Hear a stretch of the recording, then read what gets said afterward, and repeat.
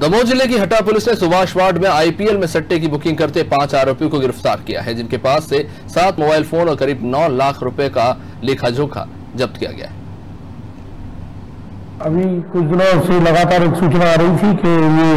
अनिकेत उर्फ़ चुंगा और अंकित उर्फ़ बल्ले ये लोग जो है ना, आईपीएल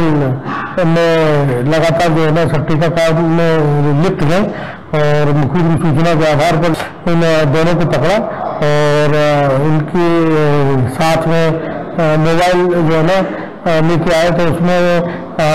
इसका इनका जो भाई था, एक राहुल भी वहाँ से फरार हो गया था, वो भी उनके साथ इन्वॉल्व था,